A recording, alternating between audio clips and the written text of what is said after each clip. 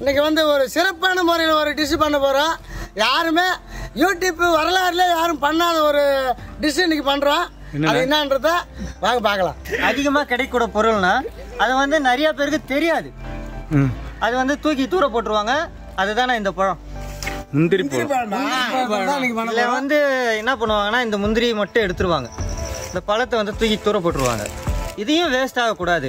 அதை தான் நம்ம பண்ண போகிற டிஷ்ஷுண்ணா அதாவது முந்திரி பழம் மில்க் ஷேக் பண்ண போகிறோம்ண்ணா இதான் மாதிரி முந்திரி பழம். இது பறித்து உடனே இப்படி கொட்டை எடுத்துடணும்.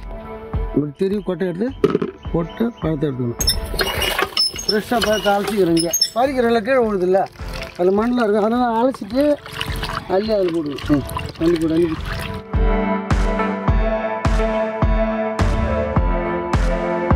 முந்திரி பழம் மில்க் ஷேக்குக்கு தேவையான பொருள் பார்த்துலாமா பாண்டிய நான் தேவையானுக்கு முத முத என்ன பொருள்னு பார்த்தீங்கன்னா சீர்காழி முந்திரி பழம்னா அடுத்த பொருள் என்னன்னு பார்த்தீங்கன்னா காஸ்ட்லியான முந்திரி.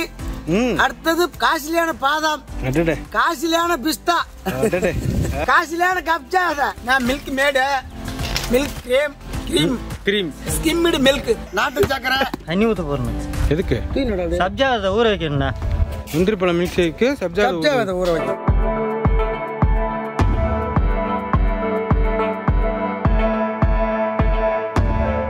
முந்திரி ஜூஸ் முந்திரி பழ ஜூஸுக்கு சாறு எடுத்துக்கிறோம் முன்ன. பழத்தை இந்த மாதிரி எடுத்துக்கிறோம். ஓகே. எடுத்து அப்படியே இப்படி புழியணும். இல்லை சாறு வருதா? கொட்டுதானே இளநீ தண்ணி மாதிரி வந்துட்டு இருக்குண்ணே. இப்படி புழிஞ்சு எடுத்துடணும். இப்படி புழிச்சோம்னா எங்க அங்கே அடிக்குது பாரு சார் வருதா? பீச்சிட் பைப்பில் வர மாதிரி வருதுண்ணே. ஆட்டு மடியில் கறக்கிற மாரி இருக்குண்ணா. பால் மாரி வரணும் கரெக்டாக அந்த மாதிரி தான் இது பால் கறக்கிற மாதிரி இது. ஏன் மிக்சியில் போட்டு அரைக்காமல் அப்படியே ஒன்றும் பயமாக விட்டுறீங்க? இப்போது முந்திரி பழம் வந்து நல்லா தண்ணி மாதிரி இருக்கும்ண்ணா ம். அதோட நம்ம சேர்க்க போகிற பொருள்கள் எல்லாமே லிக்விடு தான். இந்த முந்திரி பாதாம் பிஸ்தாலாம் வெட்டி போட்டோம்னா அந்த ஜூஸ் குடிக்கும் போது இது மென்று சாப்பிட்ற மாதிரி இருக்கும். இது இல்லாமல் நம்ம சேர்க்க போகிற பொருளுங்களும் வந்து அந்த அந்த காரில் எடுக்கிறத வந்து கம்மி பண்ணிடும் இப்போ முந்திரி பாதாம் பிஸ்தா மூணுத்தையும் வெட்டி போடுறோம். வெட்டி போட்டுக்கிறோம் ரெண்டாவது முந்திரி பழம் வந்து புழிஞ்சு கொஞ்ச நேரத்துலேயே நம்ம வந்து மில்க் ஷேக்காக நம்ம ஜூஸ் எதானாலும் பண்ணிடணும். ஏன்னா டைம் ஆயிடுச்சுன்னா கருப்பாயிரும்.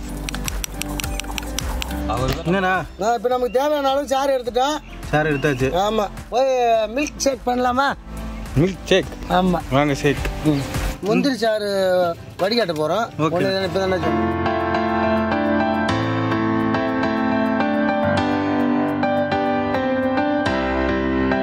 பழச்சாருக்கு ஐஸ் கட்டி சேர்க்குறீங்களா? ஆமாங்கண்ணா. முன்னே ஃபஸ்ட்டே வந்து ஐஸ் கட்டி போட்டா ஏன்னா இப்போ நம்ம உடனே நம்ம குடிக்குது நம்ம சாப்பிட்றது.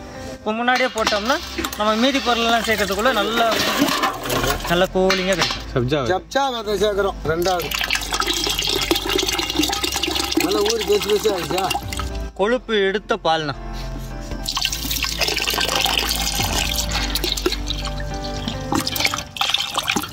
அடுத்தது? ஃப்ரெஷ் க்ரீம் இது ஊற்றினோம்னா கொஞ்சம் திக்காகும்ண்ணா நம்ம அதுக்காக ஊற்றுறீங்க ஆமாங்கண்ணா. மில்க் ஷேக் பொறுத்த பொறுத்த வரைக்கும் திக்காக இருக்கணும். மில்க் மேட் மில்க் பேண்ட் ஊற்றுறீங்க அடுத்து. இதெல்லாம் போட்டால் தான் ஓரளவுக்கு திக்காக கிடைக்கும். நாட்டு சக்கரை போடுறோம். நாட்டு சக்கரை மனமே மனமே. ஆமாம்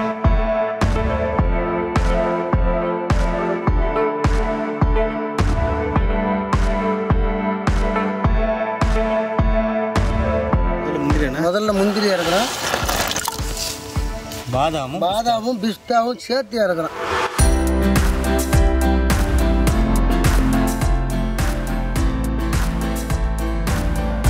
காப்பி மாரி இருக்குதா? நாட்டு சக்கரைடா. ஐயா ஐயா. அதை விட அவன் ஆர்வமாக இருக்கா?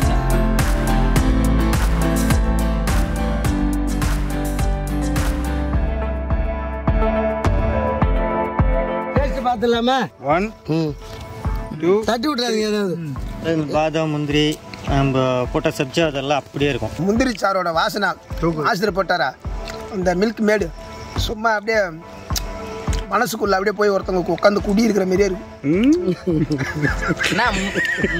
இல்லை. அரைக்காமலே போட்டுருக்கோம் எப்படி இருக்குது சாப்பிட்றதுக்கு? நல்லா இருக்குண்ணா. ம்? நல்லா இருக்குண்ணா. செம்மையா இருக்கு. ம்? இந்த மாதிரி மில்க் ஷேக் யாருமே பண்ணது கிடையாது. ஆனா முந்திரி தோப்பு வச்சிருக்கவங்க நீங்க ட்ரை பண்ணி பார்க்கலாம். முந்திரி பாதாம் பிஸ்தா. சும்மா லெவலே வேற. அதாவது இந்த முந்திரி பழம் வந்து எல்லா நாளிலும் கிடைக்காது. இந்த கோடை காலத்தில் தான் கிடைக்கும். அந்த டைமில் தான் இதை பயன்படுத்திக்க முடியும். முடிஞ்சா அந்த மாதிரி ஃபாலோ பண்ணுங்க. இதே மாதிரி புதுசு புதுசா டிசைன் டிசைனா பார்க்கணும்னா எங்க சேனல்ல பாருங்க. எங்க சேனலுக்கு சப்போர்ட் பண்ணுங்க. ஷேர் பண்ணுங்க. கமெண்ட் பண்ணுங்க. சப்ஸ்கிரைப் பண்ணுங்க. மறந்துடாம ஃபேஸ்புக்ல பேஜ் இருக்கு. ஃபாலோ பண்ணுங்க. ஆமாங்க.